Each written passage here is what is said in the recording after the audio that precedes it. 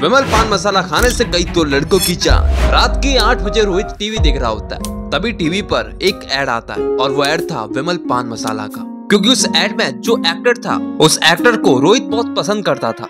क्योंकि रोहित का वो एक्टर बहुत फेवरेट था। तो रोहित सोचता है कि मेरा फेवरेट एक्टर विमल पान मसाला खा रहा है तो मैं क्यों नहीं खाऊं? मुझे भी उसके जैसा बनना है। फिर रोहित अपने पेरेंट्स के पास जाता है और उनसे पैसे माँगता है। पर रोहित अपने पेरेंट्स को ये नहीं बताता है कि वो पान मसाला खाने जा रहा है। तो रोहित अपने दोस्त को लेकर दुकान में जाता है और एक बिमल पान मसाले का पैकेट लेता है। और रोहित सबसे पहले अपने दोस्त को खिलाता है। जैसे ही उसका दोस्त पान मसाला खाता है तो उसे उसका टेस्ट अच्छा ही लगता है, इसलिए वो थूक देता है। और फिर आती है रोहित की बारी। रोहित उस पान मसाले के पैकेट को लेता है और एक साथ अपने मुँह के अंदर डाल लेता है, जिसके कारण रोहित को बहुत खांसी होने लगती है, इसलिए वो बहुत खांसने लगता है। और एक समय पे वो खांसी इतनी भड़ गई थी, जिसकी वजह से वो बोल भी नहीं पा रहा था, उसके मुँह से खून निकल रहा था। तो उधर पे जितने भी लोग खड़े थे तो वो सोच रहे थे कि आगे क्या होगा, जैसे आप सोच रहे हैं कि आगे अभी क्या होगा। पर उससे पहले नीचे लाल कलर का बटन दिख रहा होगा, दबा दे। ऐसी और वीडियोस के लिए तभी उसके पेरेंट्स आ जाते हैं और रोहित की ये हालत देखकर बहुत हैरान हो जाते हैं और उससे जल्द से जल्द डॉक्टर के पास दिखाते हैं। जितना हो सके इन चीज़ों से दूर रहिए और जल्द से जल्द मुझे सब्सक्राइब कीजिए।